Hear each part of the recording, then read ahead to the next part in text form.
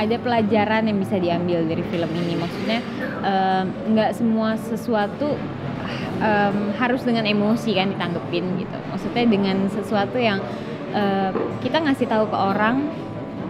dengan caranya sendiri itu udah cukup